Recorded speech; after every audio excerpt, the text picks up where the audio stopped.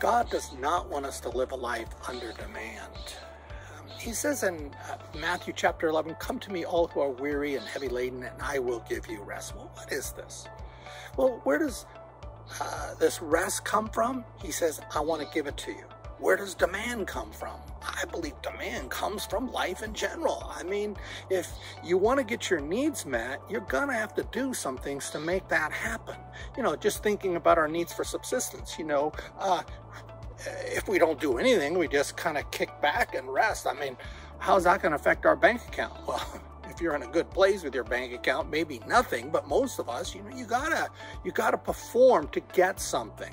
In the world, we trade with one another to get our needs met. That puts us under demand. Well, there's even another demand for psychological needs of what makes us okay. And oftentimes, what makes us okay is what we do, how we perform. And we can also get our psychological needs met by uh, people who admire what we do. They honor us for how we get out and make things happen. They honor us for our good works. And there we have it again. It's life under demand. And for some people, that works very well for them.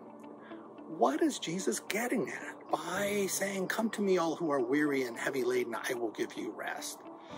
God wants to take us, Jesus wants to take us to the cross where we receive forgiveness, where we receive righteousness, not because of what we've done, how we've lived under demand and performed, but rather for what has been given to us in Christ. In a sense, he wants to take care of these needs of uh, performance. But he also says to us, you know, I want you to relax about your finances too.